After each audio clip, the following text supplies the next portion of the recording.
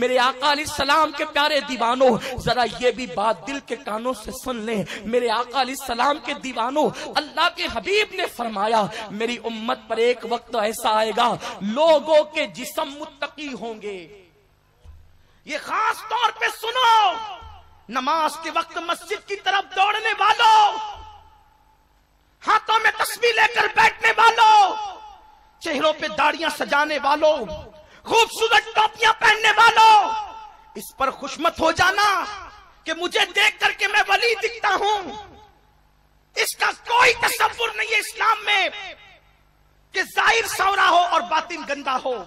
میرے آقا فرماتے ہیں، بخاری مسلم کی حدیث ہے، ان اللہ لا ينظر الى صورکم و الى اموالکم ولکن ينظر الى قلوبکم۔ اللہ نہ تمہارے چہرے دیکھتا ہے، نہ تمہارے اموال دیکھتا ہے، نہ مال دیکھتا ہے، نہ چہرے دیکھتا ہے، وہ تو تمہارا دل دیکھتا ہے۔ تو آقائے کریم نے فرمایا، قریب قیامت میری امت کا حال یہ ہوگا، جسم متقی ہوں گے اور دل فاسق ہوں گے۔ ایسے لوگ جنت کی خوشبو بھی نہ سونگیں گے۔ جب یہ فرمان پڑھو تو دل لرس جاتا ہے۔ کہیں ہم لوگ اسی میں تو نہیں؟ جسم اتنے متقی نظر آتے ہیں کہ لوگ کیا سے کیا تصور کرتے ہیں۔ مسلمانوں، غور کرو۔ میرے پیارے آقا علیہ السلام کے پیارے دیوانوں، اپنی فکر کو تبدیل کرنا ہوگا۔ سنی دعوت اسلامی، آپ کی فکر کو تبدیل کرنا چاہتی ہے۔ ہاں مکڑی کے جالے کی طرح کے رسومات سے نکلو۔